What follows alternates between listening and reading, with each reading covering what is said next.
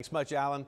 Well, a landmark proposal by the U.S. Food and Drug Administration could have a profound impact on those who use hearing aids.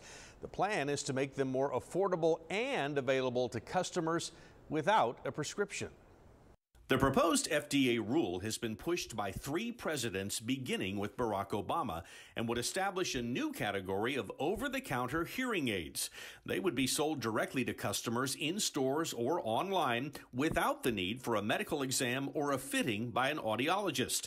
It's a lot like being able to buy reading glasses from a drugstore.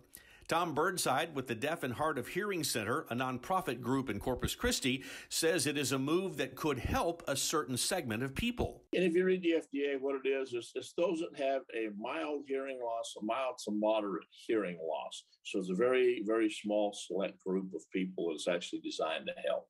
The devices would still be regulated by the agency to ensure that they are safe and effective.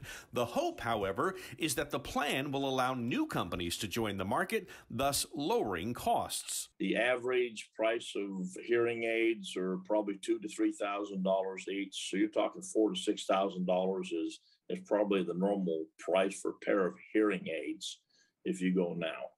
But then again, that's because if you look at them, they are a medical device that is a prescription. While the draw to convenience and cheaper prices is often irresistible, Burnside cautions that it should not eliminate the work done by medical professionals. First, because you need to know what's causing your hearing loss, and second, because better hearing is not just about having more volume. About the tones we hear, it's not about volume. So what you have to do is you have to identify the tones and amplify particular tones for actually somebody to hear better. Keep in mind that you can often get a free hearing test at a health fair or even at some medical offices. Now, although the FDA declined to set a timeline for finalizing and publishing the new rule, officials say that enacting it quickly is a top priority.